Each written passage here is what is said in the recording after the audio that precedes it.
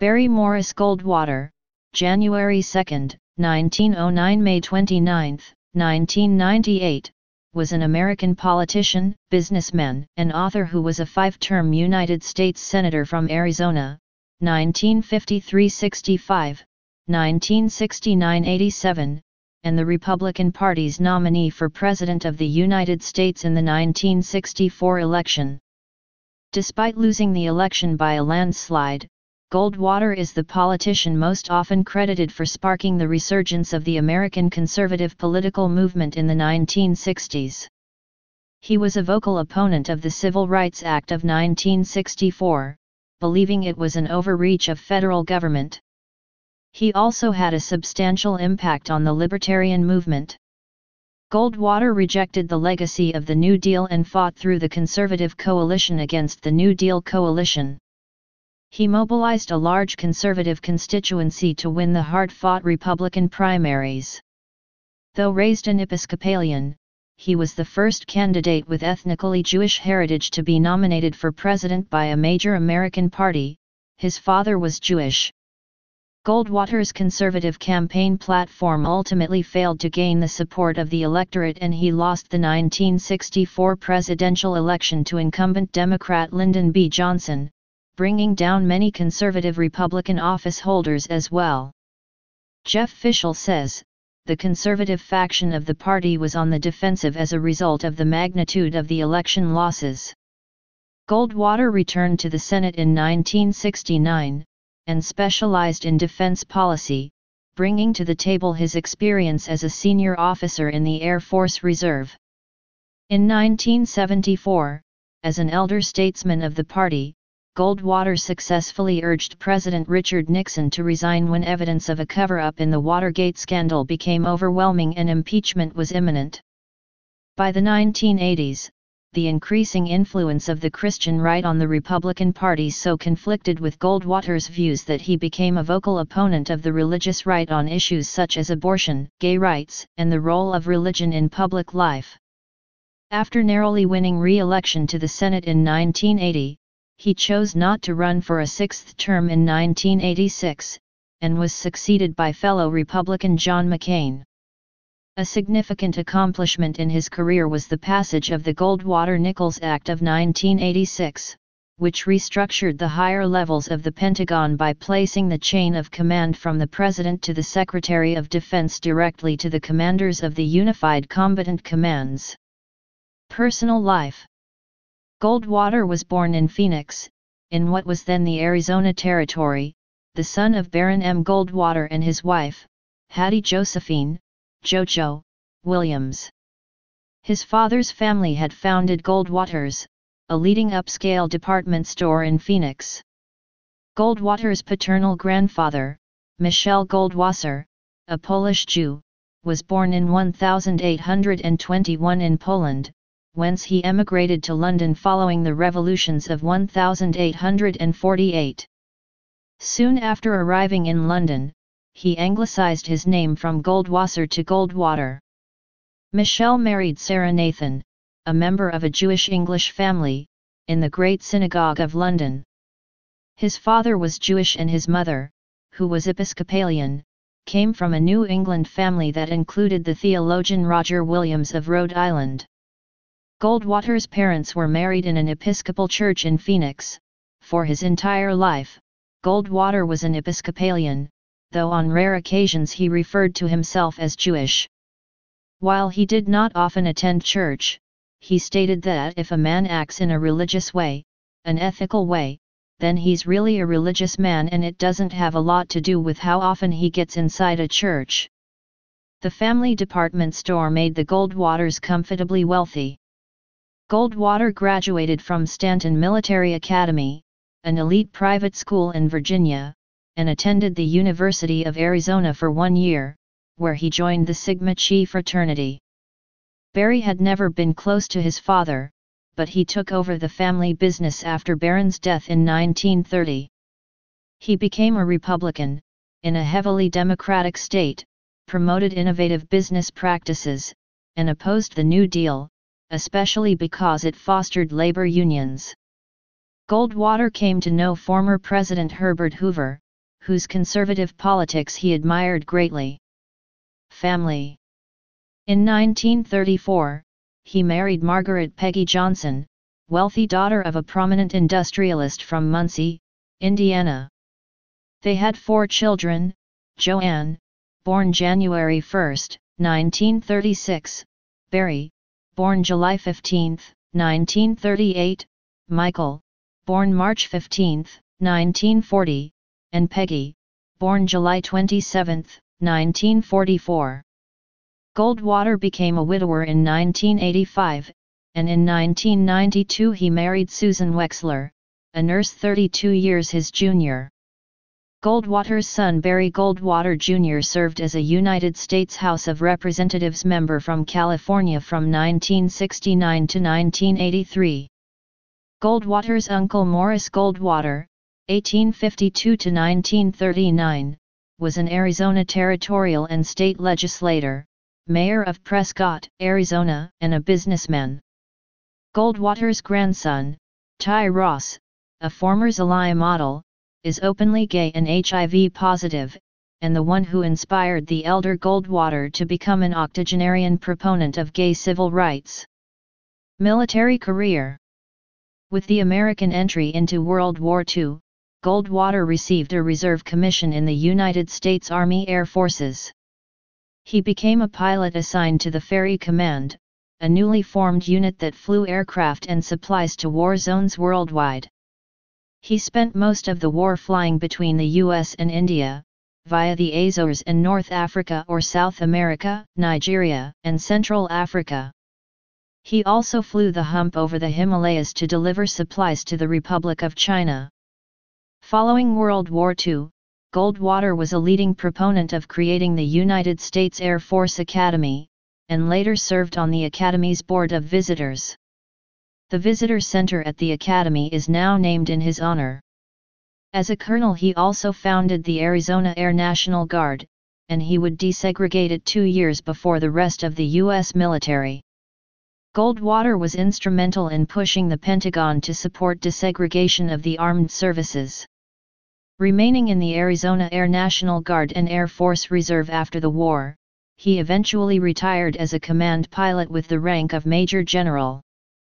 By that time, he had flown 165 different types of aircraft. As an Air Force Reserve Major General, he continued piloting aircraft, to include the B-52 Stratofortress, until late in his military career. He would remind those who called him rash of the old saying that there are no old, bold pilots. Interests Goldwater ran track and cross country in high school, where he specialized in the 880-yard run. His parents strongly encouraged him to compete in these sports, to Goldwater's dismay. He often went by the nickname of Rolling Thunder. In 1940, Goldwater became one of the first people to run the Colorado River recreationally through Grand Canyon participating as an oarsman on Norman Nevills' second commercial river trip. Goldwater joined them in Green River, Utah, and rowed his own boat down to Lake Mead. In 1970, the Arizona Historical Foundation published the daily journal Goldwater had maintained on the Grand Canyon journey, including his photographs, in a 209-page volume titled Delightful Journey. In 1963, he joined the Arizona Society of the Sons of the American Revolution. He was also a lifetime member of the Veterans of Foreign Wars, the American Legion, and Sigma Chi fraternity. He belonged to both the York Rite and Scottish Rite of Freemasonry, and was awarded the 33rd degree in the Scottish Rite. Political career In a heavily democratic state, Goldwater became a conservative Republican and a friend of Herbert Hoover. He was outspoken against New Deal liberalism, especially its close ties to labor unions he considered corrupt. A pilot, outdoorsman, and photographer, he crisscrossed Arizona and developed a deep interest in both the natural and the human history of the state. He entered Phoenix politics in 1949, when he was elected to the city council as part of a nonpartisan team of candidates pledged to clean up widespread prostitution and gambling. The team won every mayoral and council election for the next two decades. Goldwater rebuilt the weak Republican Party and was instrumental in electing Howard Pyle as governor in 1950. U.S. Senator As a Republican he won a seat in the U.S. Senate in 1952, when he upset veteran Democrat and Senate Majority Leader Ernest McFarland. He won largely by defeating McFarland in his native Maricopa County by 12,600 votes, almost double the overall margin of 6,725 votes. As a measure of how democratic Arizona had been since joining the Union 40 years earlier, Goldwater was only the second Republican ever to represent Arizona in the Senate. He defeated McFarland again in 1958, with a strong showing in his first re-election, he was the first Arizona Republican to win a second term in the Senate. Goldwater's victory was all the more remarkable since it came in a year the Democrats gained 13 seats in the Senate. He gave up re-election for the Senate in 1964 in favor of his presidential campaign. During his Senate career, Goldwater was regarded as the grand old man of the Republican Party and one of the nation's most respected exponents of conservatism.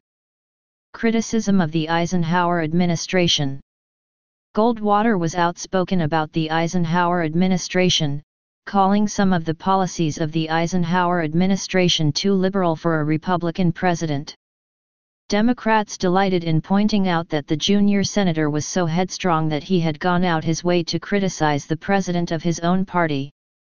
There was a Democratic majority in Congress for most of Eisenhower's career and Goldwater felt that President Dwight Eisenhower was compromising too much with Democrats in order to get legislation passed. Early on in his career as a senator for Arizona, he criticized the $71.8 billion budget that President Eisenhower sent to Congress, stating now, however, I am not so sure. A $71.8 billion budget not only shocks me, but it weakens my faith. Goldwater opposed Eisenhower's pick of Earl Warren for Chief Justice of the Supreme Court. The day that Eisenhower appointed Governor Earl Warren of California as Chief Justice of the Supreme Court, Goldwater did not hesitate to express his misgivings. Goldwater and the Eisenhower administration supported the integration of schools in the South, but Goldwater felt the states should choose how they wanted to integrate and should not be forced by the federal government. Goldwater criticized the use of federal troops. He accused the Eisenhower administration of violating the Constitution by assuming powers reserved by the states. While he agreed that under the law, every state should have integrated its schools, each state should integrate in its own way. There were high-ranking government officials following Goldwater's critical stance on the Eisenhower administration, even an army general. Fulbright's startling revelation that military personnel were being indoctrinated with the idea that the policies of the commander-in-chief were treasonous dovetailed with the return to the news of the strange case of General Edwin Walker. Republican presidential primary, 1964 In 1964, Goldwater fought and won a multi-candidate race for the Republican Party's presidential nomination. His main rival was New York Governor Nelson Rockefeller, whom he defeated by a narrow margin in the California primary. Eisenhower gave his support to Goldwater when he told reporters, I personally believe that Goldwater is not an extremist as some people have made him, but in any event we're all Republicans. His nomination was opposed by liberal Republicans, who thought Goldwater's demand for rollback, defeat of the Soviet Union, would foment a nuclear war. He delivered a captivating acceptance speech. Instead, he devoted more care to his acceptance speech than to any other speech in his political career. And with good reason, he would deliver it to the largest and most attentive audience of his life. No other statement of the 1950s and 1960s, including the conscience of a conservative, presents more truly Barry Goldwater's basic beliefs and his positions on current issues. U.S. Presidential Campaign, 1964 At the time of Goldwater's presidential candidacy, the Republican Party was split between its conservative wing, based in the West and South, and moderate-slash-liberal wing, sometimes called Rockefeller Republicans, based in the Northeast. He alarmed even some of his fellow partisans with his brand of staunch fiscal conservatism and militant anti-communism. He was viewed by many traditional Republicans as being too far on the right wing of the political spectrum to appeal to the mainstream majority necessary to win a national election. As a result, moderate Republicans recruited a series of opponents, including New York Governor Nelson Rockefeller, Henry Cabot Lodge Jr. of Massachusetts and Pennsylvania Governor William Scranton, to challenge him.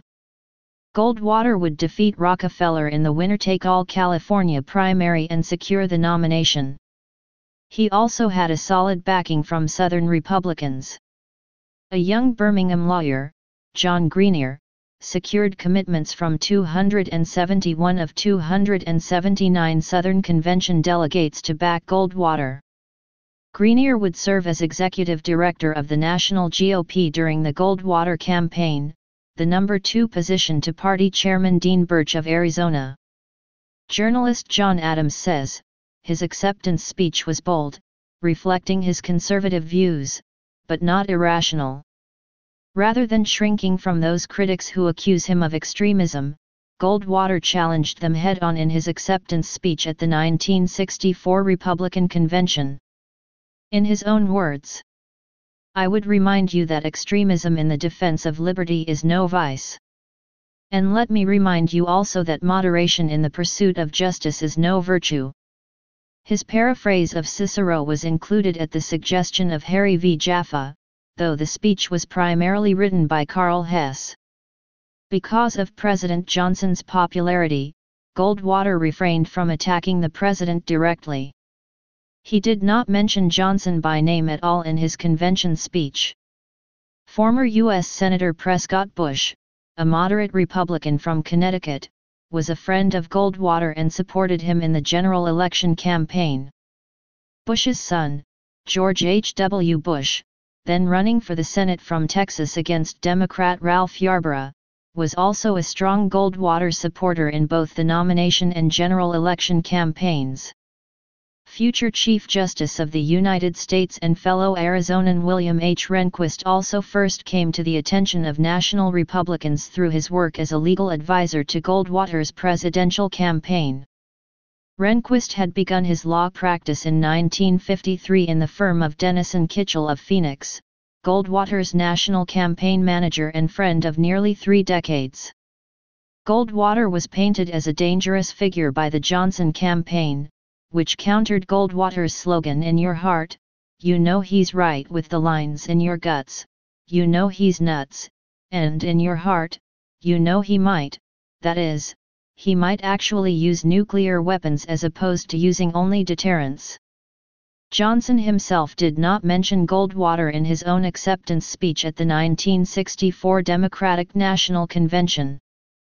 Goldwater's provocative advocacy of aggressive tactics to prevent the spread of communism in Asia led to effective counterattacks from Lyndon B. Johnson and his supporters, who claimed that Goldwater's militancy would have dire consequences, possibly even nuclear war. In a May 1964 speech, Goldwater suggested that nuclear weapons should be treated more like conventional weapons and used in Vietnam, specifically that they should have been used at Dien Bien Phu in 1954 to defoliate trees. Regarding Vietnam, Goldwater charged that Johnson's policy was devoid of goal, course, or purpose, leaving only sudden death in the jungles and the slow strangulation of freedom. Goldwater's rhetoric on nuclear war was viewed by many as quite uncompromising, a view buttressed by offhand comments such as, let's lob one into the men's room at the Kremlin. He also advocated that field commanders in Vietnam and Europe should be given the authority to use tactical nuclear weapons, which he called small conventional nuclear weapons, without presidential confirmation. Goldwater countered the Johnson attacks by criticizing the administration for its perceived ethical lapses, and stating in a commercial that we, as a nation, are not far from the kind of moral decay that has brought on the fall of other nations and people. I say it is time to put conscience back in government. And by good example, put it back in all walks of American life. Goldwater campaign commercials included statements of support by actor Raymond Massey and moderate Republican Senator Margaret Chase Smith. Before the 1964 election, Fact magazine, published by Ralph Ginzburg, ran a special issue titled The Unconscious of a Conservative, a special issue on the mind of Barry Goldwater. The two main articles contended that Goldwater was mentally unfit to be president. The magazine supported this claim with the results of a poll of board-certified psychiatrists. FACT had mailed questionnaires to 12,356 psychiatrists, receiving responses from 2,417, of whom 1,189 said Goldwater was mentally incapable of holding the office of president. Most of the other respondents declined to diagnose Goldwater because they had not clinically interviewed him, but claimed that, although not psychologically unfit to preside, Goldwater would be negligent and egregious in the role. After the election, Goldwater sued the publisher, the editor, and the magazine for libel in Goldwater v. Ginzburg. Although the jury awarded Goldwater only $1 in compensatory damages against all three defendants, it went on to award him punitive damages of $25,000 against Ginzburg and $50,000 against Fact Magazine, Inc. According to Warren Boroson, then managing editor of Fact and now a financial columnist, the main biography of Goldwater in the magazine was written by David Bar-Ilan, the Israeli pianist. Political advertising A Democratic campaign advertisement known as Daisy showed a young girl counting daisy petals, from 1 to 10. Immediately following this scene, a voiceover counted down from 10 to 1. The child's face was shown as a still photograph followed by images of nuclear explosions and mushroom clouds. The campaign advertisement ended with a plea to vote for Johnson, implying that Goldwater, though not mentioned by name, would provoke a nuclear war if elected. The advertisement, which featured only a few spoken words and relied on imagery for its emotional impact, was one of the most provocative in American political campaign history, and many analysts credit it as being the birth of the modern style of negative political ads on television. The ad aired only once and was immediately pulled, but it was then shown many times by local television stations. Goldwater did not have ties to the Ku Klux Klan, KKK, but was publicly endorsed by members of the organization. Lyndon Johnson exploited this association during the elections, but Goldwater barred the KKK from supporting him and denounced them. Past comments came back to haunt Goldwater throughout the campaign. He had once called the Eisenhower administration a dime store New Deal, and the former president never fully forgave him. Eisenhower did, however, film a television commercial with Goldwater. Eisenhower qualified his voting for Goldwater in November by remarking that he had voted not specifically for Goldwater, but for the Republican Party.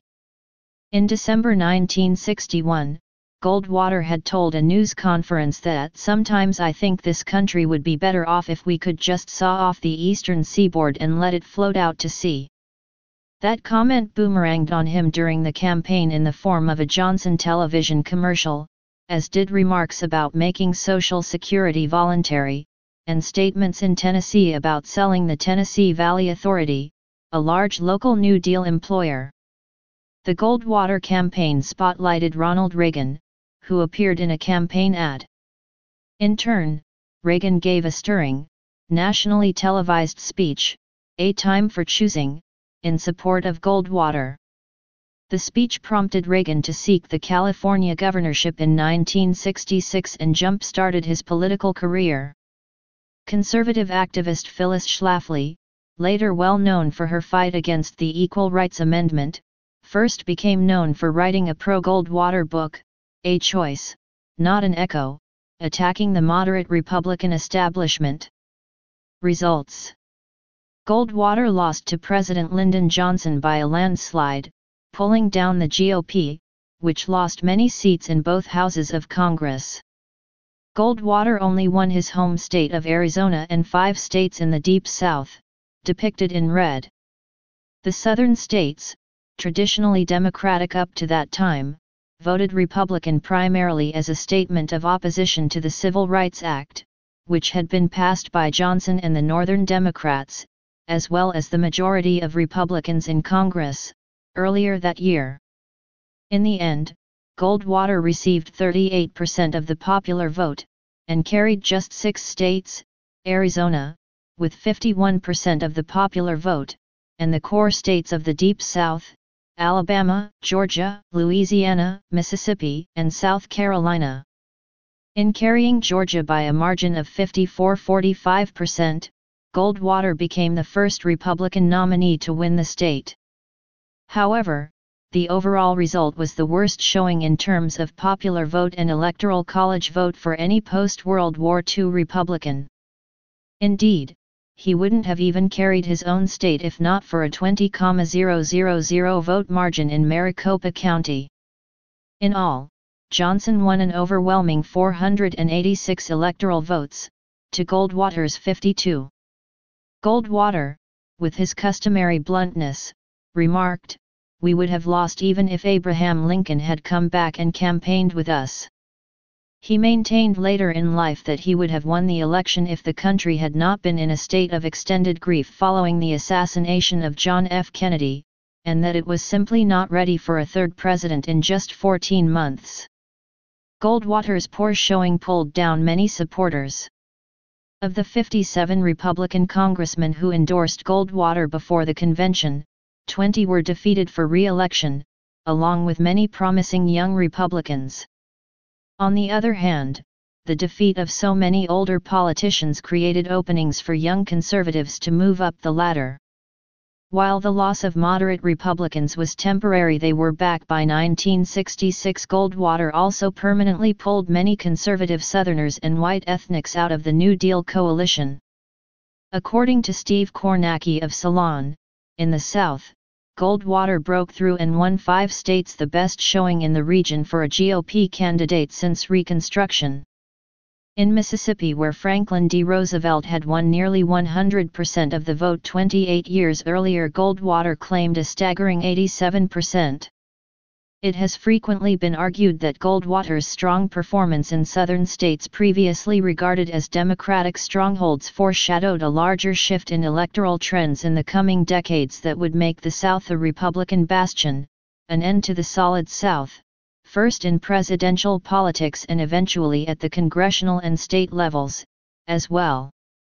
Also, Goldwater's uncompromising promotion of freedom was the start of a continuing shift in American politics from liberalism to a conservative economic philosophy. Return to U.S. Senate Goldwater remained popular in Arizona, and in the 1968 Senate election he was elected, this time, to the seat of retiring Senator Carl Hayden. He was subsequently re-elected in 1974 and 1980. The 1974 election saw Goldwater easily re-elected over his Democratic opponent, Jonathan Marshall, the publisher of the Scottsdale Progress. His final campaign in 1980 was close, with Goldwater winning in a near draw against Democratic challenger Bill Schulz. Goldwater said later that the close result convinced him not to run again. Retirement Goldwater seriously considered retirement in 1980 before deciding to run for re-election.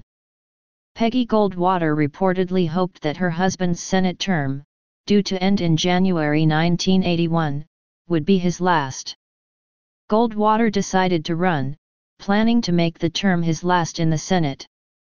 Goldwater faced a surprisingly tough battle for re-election. He was viewed by some as out of touch and vulnerable for several reasons, most importantly, because he had planned to retire in 1981, Goldwater had not visited many areas of Arizona outside of Phoenix and Tucson. He was also challenged by a formidable opponent, Bill Schulz, a former Republican turned Democrat and a wealthy real estate developer. Schulz was able to infuse massive amounts of money into the campaign from his own fortune.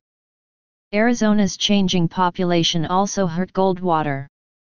The state's population had soared, and a huge portion of the electorate had not lived in the state when Goldwater was previously elected, hence, many voters were less familiar with Goldwater's actual beliefs, and he was on the defensive for much of the campaign. Early returns on election night seemed to indicate that Schulz would win. The counting of votes continued through the night and into the next morning. At around daybreak, Goldwater learned that he had been re-elected thanks to absentee ballots, which were among the last to be counted. Goldwater's surprisingly close victory in 1980 came despite Reagan's 61% landslide over Jimmy Carter in Arizona. Republicans regained control of the Senate, putting Goldwater in the most powerful position he ever had in the Senate. Goldwater retired in 1987, serving as chair of the Senate Intelligence and Armed Services Committees in his final term. Despite his reputation as a firebrand in the 1960s, by the end of his career he was considered a stabilizing influence in the Senate, one of the most respected members of either major party. Though Goldwater remained staunchly anti-communist and hawkish on military issues, he was a key supporter of the fight for ratification of the Panama Canal Treaty in the 1970s, which would give control of the canal zone to the Republic of Panama. His most important legislative achievement may have been the Goldwater-Nichols Act, which reorganized the U.S. military's senior command structure. Policies Goldwater became most associated with labor union reform and anti-communism, he was an active supporter of the conservative coalition in Congress. His work on labor issues led to Congress passing major anti-corruption reforms in 1957, and an all-out campaign by the AFL-CIO to defeat his 1958 re-election bid. He voted against the censure of Senator Joseph McCarthy in 1954, but he never actually charged any individual with being a communist-slash-Soviet agent. Goldwater emphasized his strong opposition to the worldwide spread of communism in his 1960 book The Conscience of a Conservative. The book became an important reference text in conservative political circles. In 1964, Goldwater ran a conservative campaign that emphasized states' rights. Goldwater's 1964 campaign was a magnet for conservatives since he opposed interference by the federal government in state affairs. Although he had supported all previous federal civil rights legislation and had supported the original Senate version of the bill, Goldwater made the decision to oppose the Civil Rights Act of 1964.